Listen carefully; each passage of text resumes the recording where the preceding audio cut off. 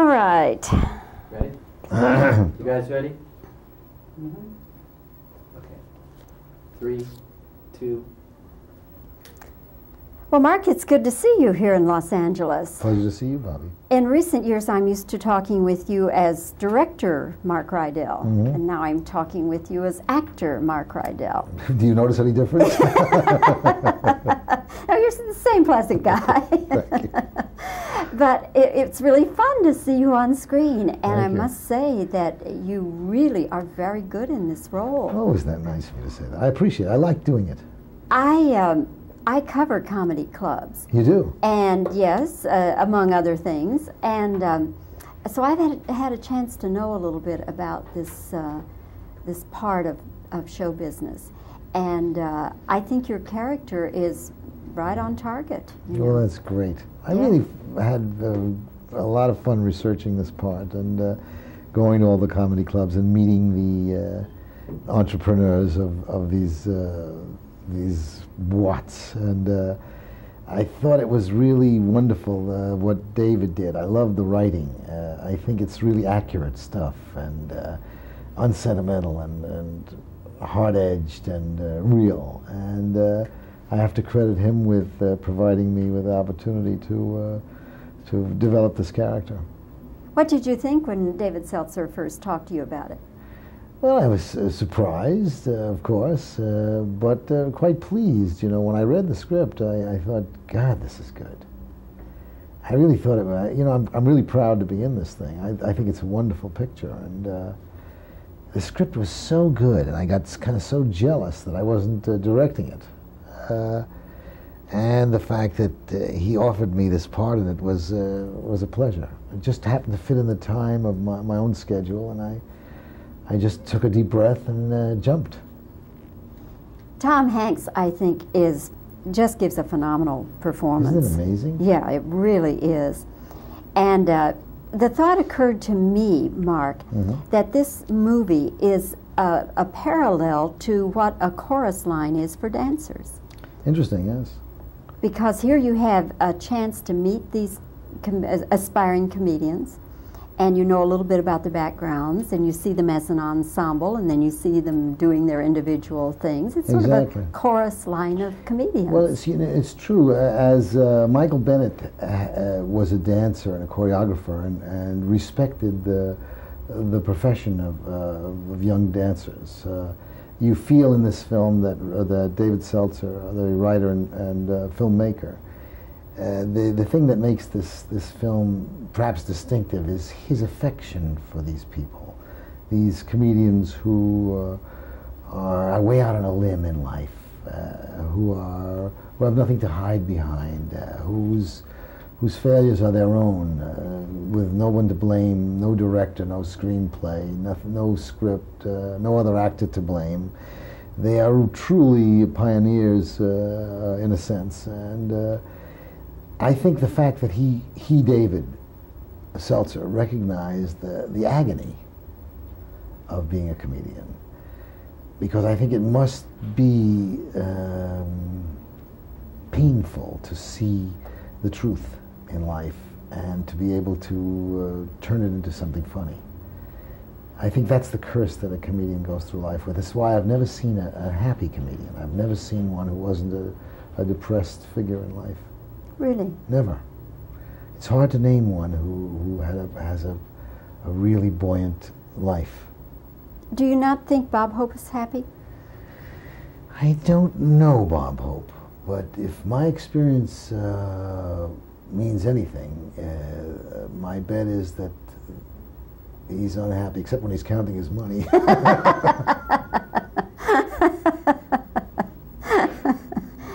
Sally's performance also just she yes, yes. well, she's been a, a, a master actor and, uh, and, and recognized to be so in, in Hollywood for a long time. Uh, she's developed uh, uh, into a, a, a quite serious and uh, significant actress of our generation.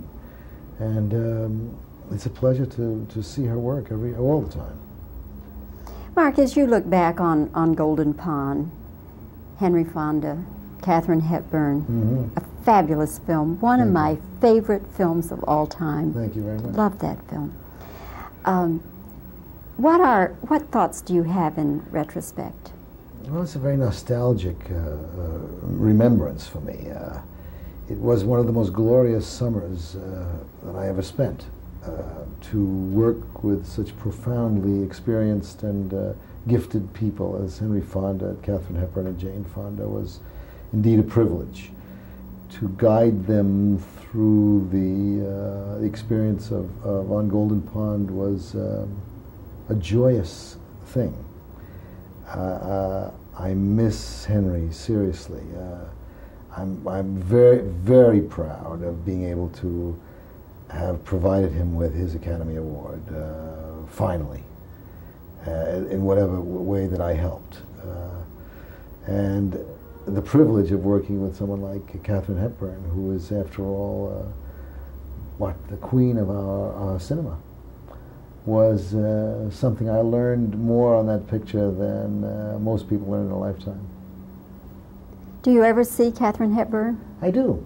Uh, not often. Uh, she's a bit of a recluse. Uh, but I do try to see her. Not as often as I'd like.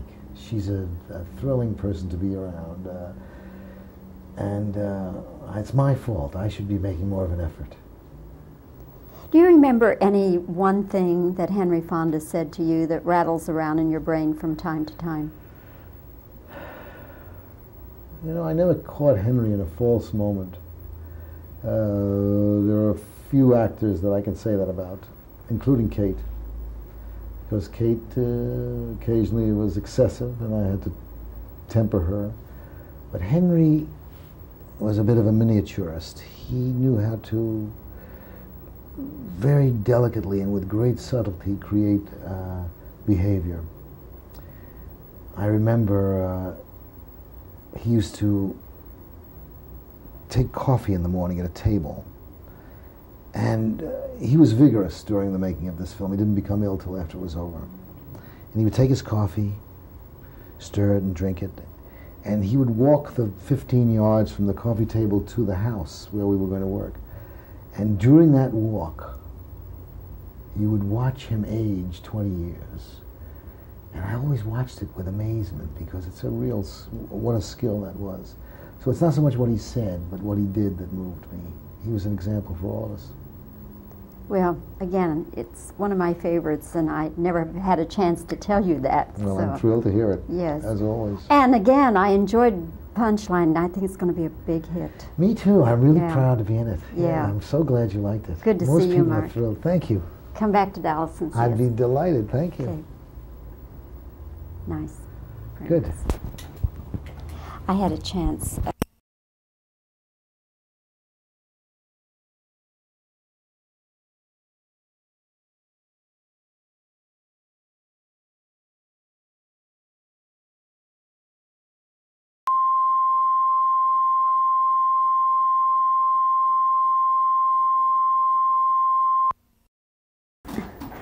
All right. Ready? You guys ready? Mhm. Okay. Three, two,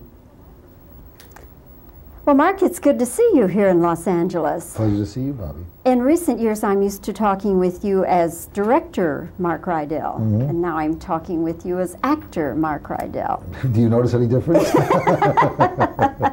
no, you're the same pleasant guy. Thank but it, it's really fun to see you on screen, and I you. must say that you really are very good in this role. oh, is that nice of you to say that? I appreciate it. I like doing it. I um, I cover comedy clubs, You do? and yes, uh, among other things, and um, so I've had, had a chance to know a little bit about this uh, this part of, of show business, and uh, I think your character is right on target. Well, know. that's great. I Yeah. really had uh, a lot of fun researching this part and uh, going to all the comedy clubs and meeting the uh, entrepreneurs of, of these uh, these boîtes. And uh, I thought it was really wonderful uh, what David did. I love the writing. Uh, I think it's really accurate stuff and uh, unsentimental and, and hard-edged and uh, real. And uh, I have to credit him with uh, providing me with the opportunity to uh, to develop this character. What did you think when David Seltzer first talked to you about it? Well, I was uh, surprised, uh, of course, uh, but uh, quite pleased. You know, when I read the script, I, I, thought, God, this is good. I really thought about You know, I'm, I'm really proud to be in this thing. I, I think it's a wonderful picture, and uh, the script was so good, and I got kind of so jealous that I wasn't uh, directing it.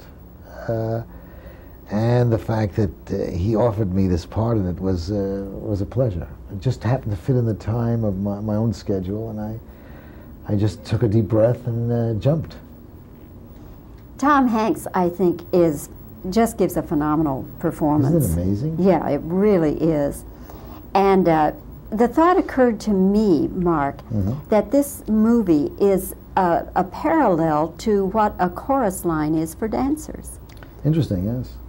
Because here you have a chance to meet these com- aspiring comedians and you know a little bit about their backgrounds, and you see them as an ensemble, and then you see them doing their individual things. It's sort exactly. of a chorus line of comedians. Well, it's, you know, it's true. Uh, as uh, Michael Bennett uh, uh, was a dancer and a choreographer and, and respected the, the profession of, uh, of young dancers, uh, you feel in this film that, that David Seltzer, the writer and, and filmmaker, uh, the, the thing that makes this, this film perhaps distinctive is his affection for these people, these comedians who uh, are way out on a limb in life, uh, who, are, who have nothing to hide behind, uh, whose, whose failures are their own, uh, with no one to blame, no director, no screenplay, nothing, no script, no other actor to blame.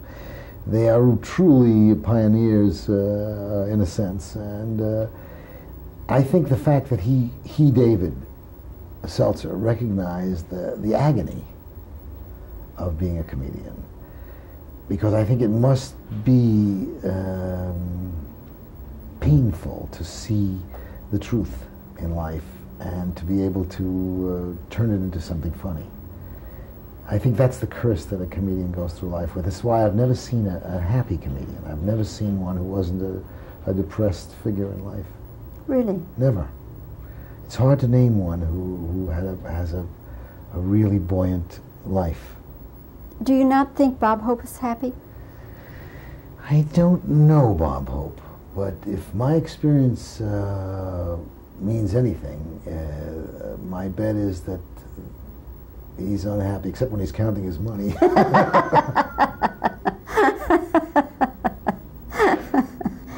Sally's performance also just yes, yes. Well, she's been a, a, a master actor and, uh, and, and, recognized to be so in, in, Hollywood for a long time. Uh, she's developed uh, uh into a, a, quite serious and uh, significant actress of our generation, and um, it's a pleasure to, to see her work every all the time. Mark, as you look back on, on Golden Pond, Henry Fonda, Katharine Hepburn. Mm-hmm. A fabulous film. One Thank of my you. favorite films of all time. Thank you very much. Love that film. Um, what are what thoughts do you have in retrospect?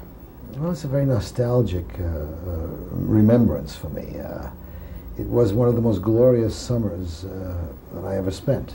Uh, to work with such profoundly experienced and uh, gifted people as Henry Fonda, Katharine Hepburn, and Jane Fonda was indeed a privilege to guide them through the, the experience of, of, On Golden Pond was um, a joyous thing.